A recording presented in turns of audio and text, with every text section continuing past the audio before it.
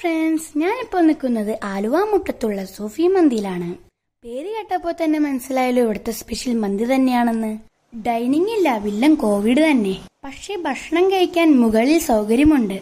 ഇവിടെ ബീഫ് മന്തിയും മട്ടൻ മന്തിയും ഉണ്ട്. പക്ഷേ എനിക്കിഷ്ടം ഇവിടത്തെ നോർമൽ ചിക്കൻ മന്തി തന്നെയാണ്. കുറച്ചു നാളുകൾക്ക് ശേഷമാണ് ഞാൻ സൂഫി മന്തിയിലേക്ക് വരുന്നത്.